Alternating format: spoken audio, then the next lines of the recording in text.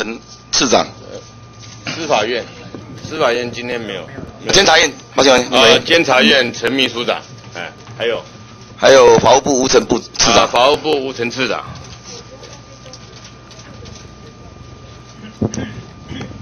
陈伟你好，两位好哈，请问我们监察院跟法务部啊，有没有针对政治现金、政治现金法公布实施以后呢，到底我们罚过多少人，罚过多少钱，没收了多少钱，有没有统计资料？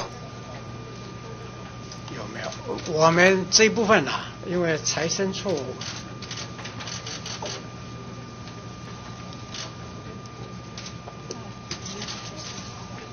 这个到今年的五月二十四号为止，有关这一部分，大概这个数了，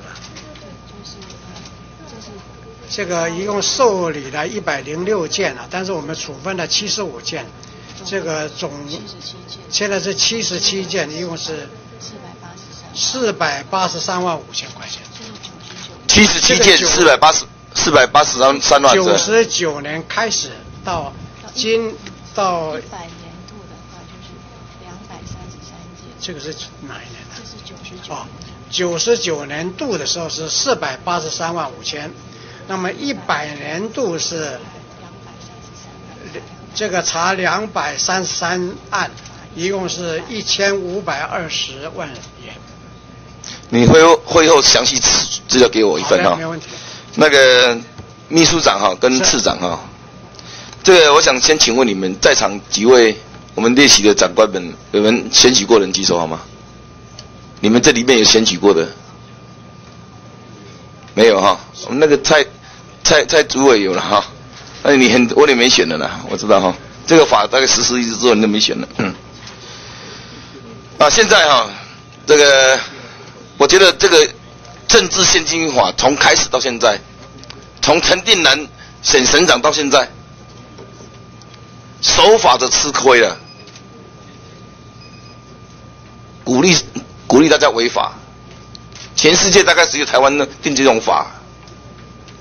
你去看看那那刚刚被你处分那些人调出来看，那些大概都是比较守法的人。为什么会变成这样子？因为我们有些法啊，真的我们应该好好检讨。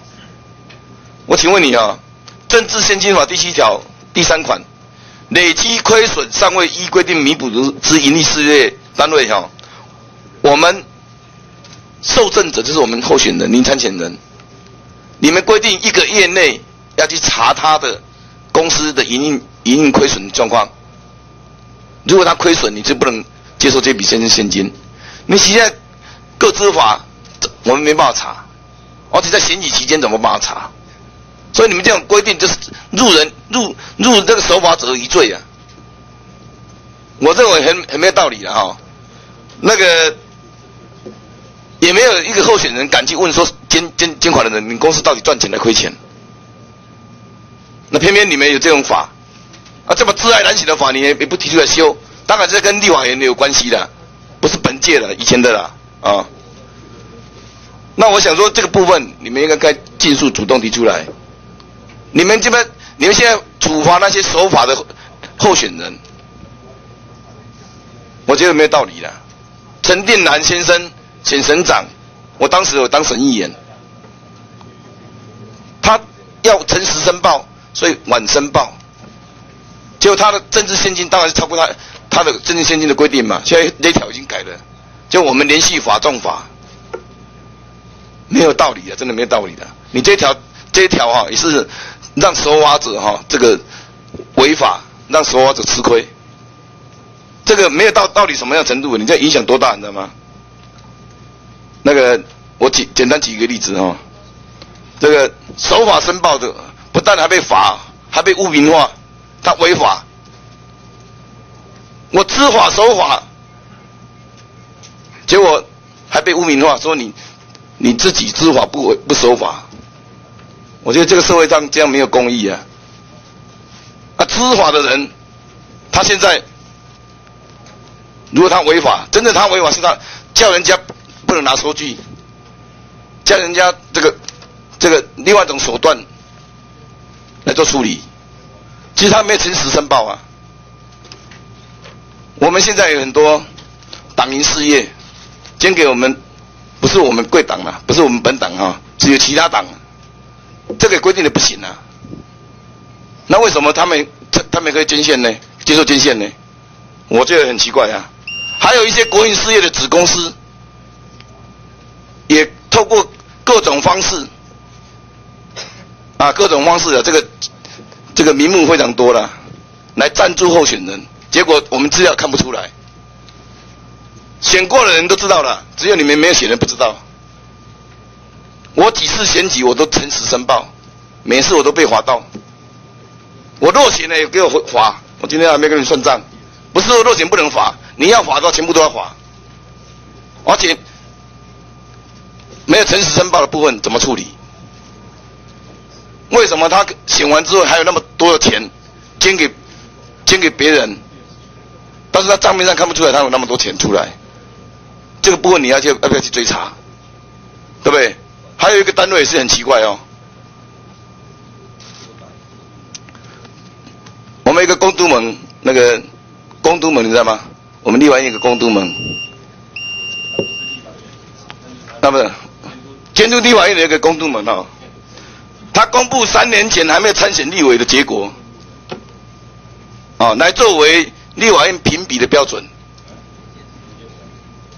我三个会期我也很认真在在努力啊。我认为我应该成绩会进步啊。本来第一第一个会期我就很好了，结果第二会期竟然是因为你们政治现金法，我被他罚钱，他说我违法，给我扣分。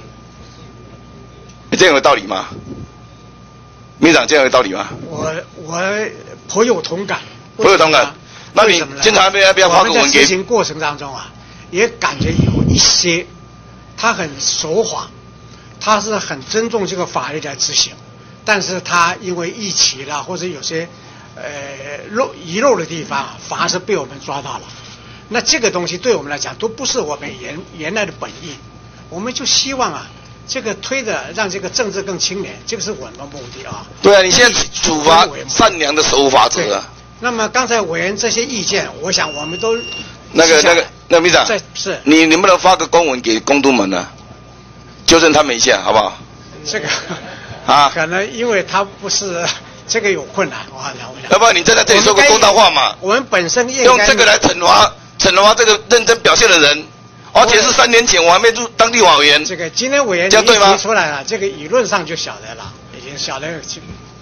那个两位哈，是，因为明年就就一个大选了哈，七合一的选举啊。我相相关的这个会后，我提供你，希望你们提供给我相关的资料，怎么样去弥补这些缺陷？